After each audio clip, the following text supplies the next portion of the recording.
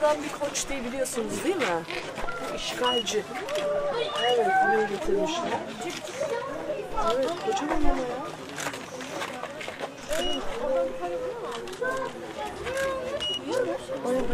ya.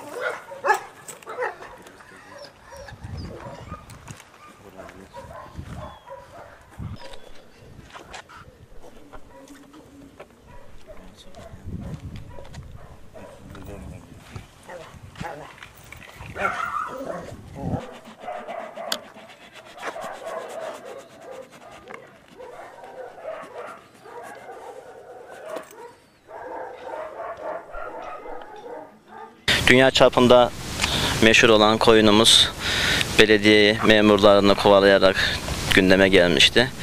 O günden bugüne kadar bütün bakım ve beslemelerini yapıyoruz. Bundan sonra devam edeceğiz bakım ve beslemelerine. Sağlık durumu gayet iyi.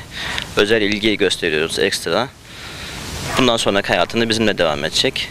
Sahiplendirilmesi ve satılması şu an için söz konusu değil. Şu an için bizlere emanet, emanet gözüyle bakıyoruz.